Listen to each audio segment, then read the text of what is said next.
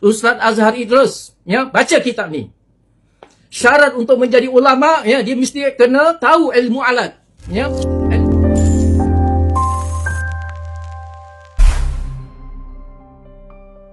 Siapa yang tidak kenal dengan pasangan pendakwah bebas yang viral baru-baru ini? Terbaru, itulah beberapa klip video yang memaparkan pasangan ustaz dan ustazah ini menegur beberapa selebriti yang dikatakan merosakkan reputasi mereka. Berikut merupakan rakaman yang dikongsikan di akaun media sosial pasangan ini.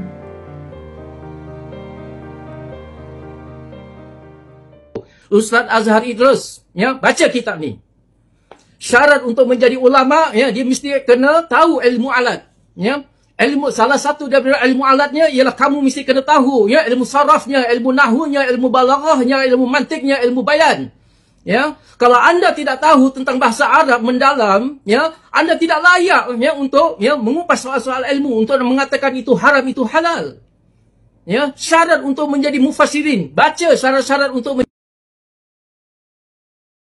hatan Ya.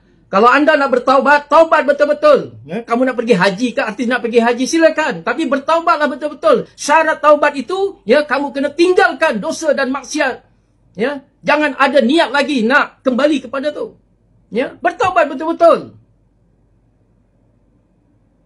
Tidakkah artis sekarang ini cuba tengok ya di Arab Saudi ya, artislah ya yang telah menghancurkan umat Islam. Nak bangga sangat dengan artis, ya. Tengok ya sekarang yang hancur semua artis yang baru ni ya. Di apa di stadium tu ya. Tidakkah itu angkatan artis? Kalau kamu nak bertaubat, bertaubat betul-betul. Taubatan nasuha. Ya. La haula wala quwata illa billahil aliyyil azim. Ya, dan kepada semua artis-artis ya, kalau anda nak bertaubat, bertaubatlah betul-betul kepada Allah.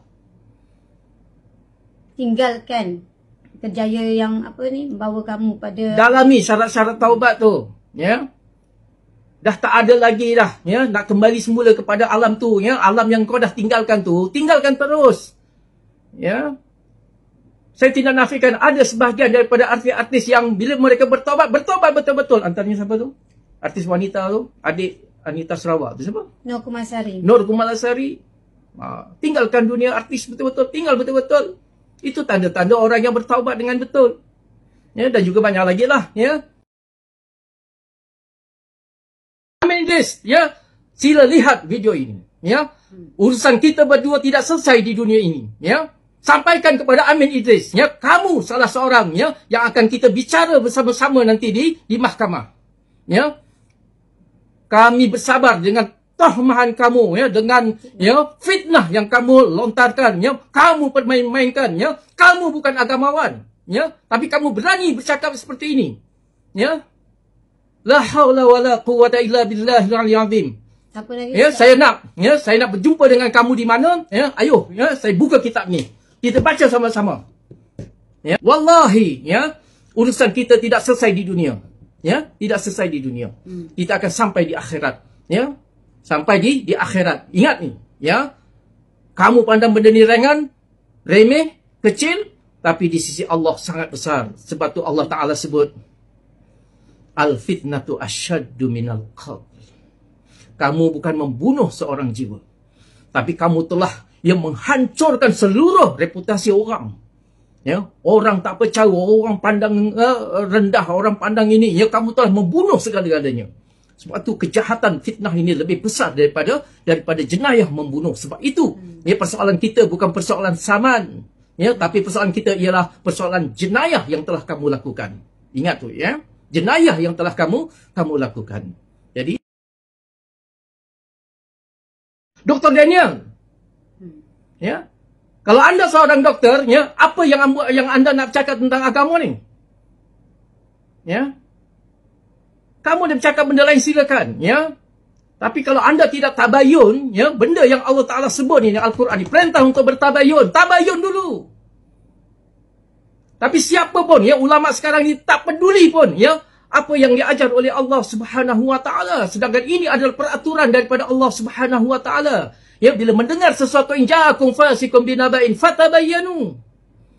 Ya. Kamu semuanya telah langgar apa yang telah digariskan oleh Allah Subhanahu Wa Taala ya. Kemudian senang-senang kamu nak ya nak perhina orang kau nak memperlekehkan orang ya. Sekalipun katalah ya yang bercakap tu hanya seorang wanita ya. Apakah itu ya? Boleh kamu nak katakan ya, macam-macam?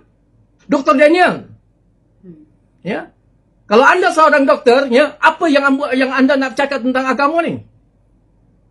Ya kamu dah bercakap benda lain silakan, ya.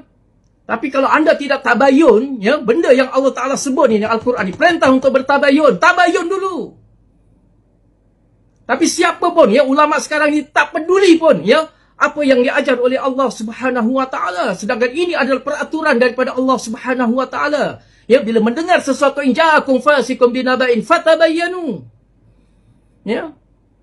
Kamu semuanya telah langgar apa yang telah digariskan oleh Allah Subhanahu Wa Taala ya. Kemudian senang-senang kamu nak ya nak perhina orang kau nak memperlekehkan orang ya.